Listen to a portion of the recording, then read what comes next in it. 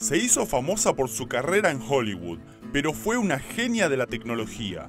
Esta es su historia. Hedy Lamar nació el 9 de noviembre de 1914 y tuvo una corta pero prolífica carrera en el cine de Hollywood, donde se la promocionó como la mujer más bella del mundo.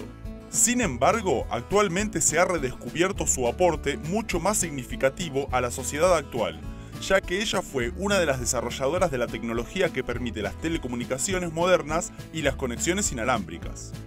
Luego de su carrera actoral, Hedy completó sus estudios en ingeniería y se dedicó a la ciencia aplicada.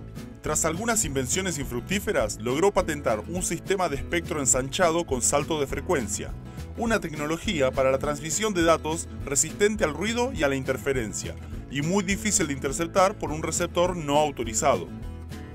Aunque esta tecnología tenía precursores que incluyen al famoso Nikola Tesla, fue la patentada por Hedy la que llevó el nombre Sistema Secreto de Comunicaciones y despertó el interés del gobierno por sus potenciales aplicaciones militares.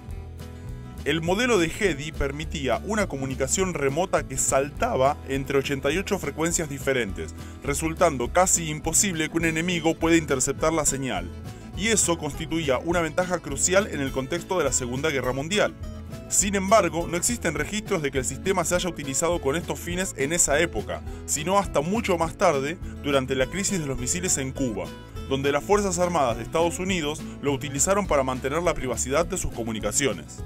Pero la verdadera explotación de esta tecnología llegaría décadas después, cuando la patente se liberó al ámbito público y empresarial, porque el modelo de Hedy Lamar constituye una de las bases que hicieron posible las comunicaciones como el fax, los teléfonos celulares, el GPS y la mayoría de las conexiones inalámbricas. Tal como sucedió con muchas inventoras, Hedy Lamar no recibió el merecido crédito en su momento. No fue hasta muy recientemente cuando la historia completa fue develada y se le otorgaron premios y menciones. Estos incluyeron en 1997 al premio Bulby, considerado el Oscar de los inventores siendo Hedy la primera mujer que lo recibió en la historia. Hedy Lamar falleció unos años después en Florida, el 19 de febrero del año 2000. ¿Quieres aprender más sobre historia de la ciencia? Visita nuestro sitio web. Educatina.com tiene más de 8.000 videos y ejercicios para practicar y mejorar tus conocimientos. También puedes suscribirte a nuestro canal y compartir este video en todas tus redes para ayudarnos a crecer.